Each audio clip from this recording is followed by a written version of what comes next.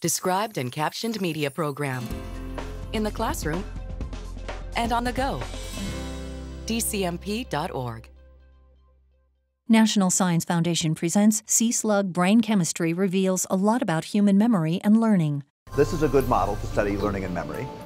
I don't know about you, but I feel sluggish sometimes, especially before I've had my coffee. But who knew these sea slugs would have so much to tell us about the human brain?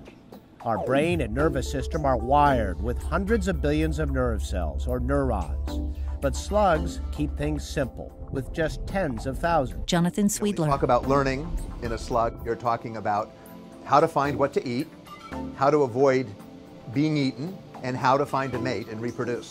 The described and captioned media program provides services designed to benefit students who are blind, visually impaired, deaf, hard of hearing, and deafblind.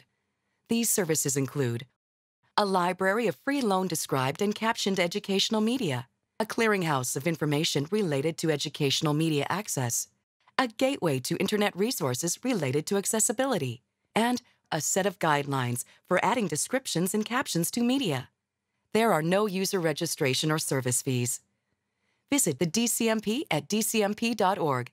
The DCMP is funded by the U.S. Department of Education and administered by the National Association of the Deaf.